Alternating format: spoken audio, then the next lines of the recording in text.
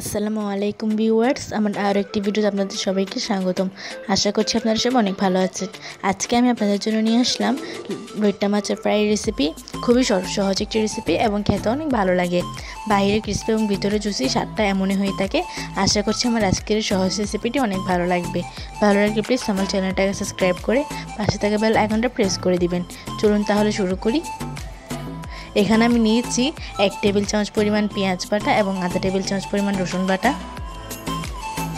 সাথে দিয়ে দিচ্ছি এখানে এক চামচ পরিমাণ আদা পাউডার আর এখানে আমি নিয়েছি দশ টুকরো লোট্টা মাছ। এগুলো আমি ভালো করে ধুয়ে পানি ঝরিয়ে নিয়েছি। এখন এখানে দিয়ে দিচ্ছি দুই টেবিল চামচ পরিমাণ লেবুর রস। এতে করে লোট্টা মাছটা ফ্রাই করলে অনেক ক্রিস্পি হবে এবং খেতেও অনেক ভালো লাগবে। তারপর দিয়ে দিচ্ছি এক চামচ পরিমাণ ধনে গুঁড়ো, এক চামচ পরিমাণ হলুদের গুঁড়ো, এক চামচ পরিমাণ লাল মরিচের গুঁড়ো এবং আধা চামচ পরিমাণ লবণ। আপনারা আপনাদের স্বাদ মতো লবণটা দিয়ে দিবেন। এবার এগুলো ভালো করে মাখিয়ে নিচ্ছি।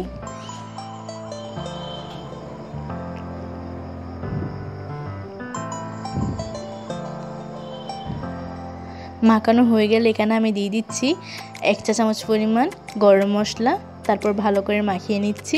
এই গরম মশলাটা আমি ঘরে তৈরি করেছি আর রেসিপিটা আমার চ্যানেলে রয়েছে। আপনারা চাইলে সেখান থেকে দেখে নিতে পারেন লিঙ্ক আমি ডিসক্রিপশন বক্সে দিয়ে রাখব। এবার এগুলো ভালো করে মাখিয়ে মেরিনেট করে নিচ্ছি আড়াই ঘণ্টার জন্য। আপনাদের হাতের কাছে যদি টাইম থাকে তাহলে আড়াই ঘণ্টার জন্য মেরিনেট করে নেবেন। আর যদি টাইম না থাকে তাহলে কমপক্ষে আধা ঘণ্টার জন্য মেরিনেট করে নেবেন। এবার আমি কোটিংয়ের প্রিপারেশনটা করে নিচ্ছি। যার জন্য এখানে নিয়ে নিচ্ছি এক ওয়ান ফোর্থ কাপ পরিমাণ বেসন আর ওয়ান থার্ড কাপ পরিমাণ ময়দা।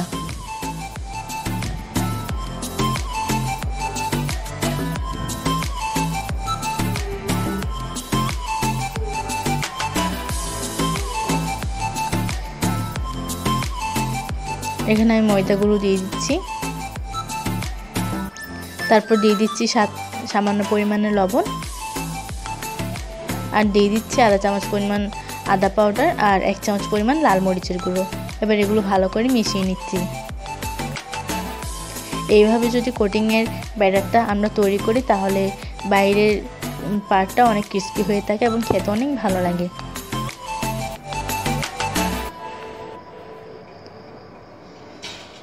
তো আমার এগুলো মিশানো হয়ে গিয়েছে।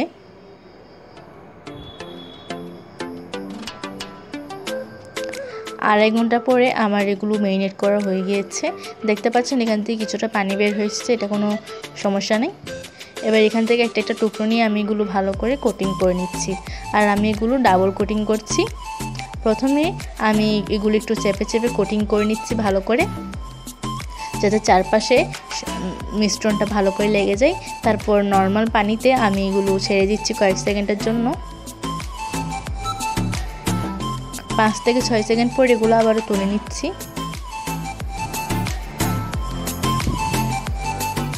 তারপর আবারও ভালো করে কোটিং করে নিচ্ছি চেপে চেপে। এভাবে ডাবল কোটিং করলে বাইরের অংশটা অনেক ক্রিস্পি হয় আর খেতেও অনেক ভালো লাগে। আমি চোলার আঁচটা মিডিয়ামে রেখে এগুলো ভালো করে ফ্রাই করে নিচ্ছি এবং চার থেকে পাঁচ মিনিট ফ্রাই করলে হয়ে যাবে, কারণ এগুলো আমি আড়াই ঘণ্টা মেরিনেট করেছি।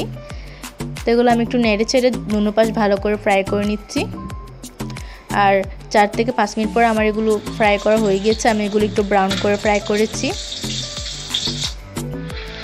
তা আমার লোট্টা মাছ ফ্রাই তৈরি, আশা করছি আমার আজকের রেসিপিটা অনেক ভালো লাগবে। এগুলো অনেক ক্রিস্পি হয়েছে আর খেতেও অনেক ভালো লাগে। আশা করছি আমার আজকের এই রেসিপিটি আপনাদের অনেক ভালো লাগবে। ভালো লাগলে প্লিজ আমার চ্যানেলটাকে সাবস্ক্রাইব করে পাশে থাকা ভালো এখনটা প্রেস করে দিবেন আর যে কোনো নোটিফিকেশান আসলে সবার আগে আপনার কাছে পৌঁছে যাবে। আর ভিডিওটি একটি লাইক দিয়ে দিবেন আর কেমন লাগল সেটা কমেন্ট বক্সে জানিয়ে দিবেন। আর আমার ডিসক্রিপশন বক্সে চেক করে নিতে পারেন। আল্লাহ হাফেজ।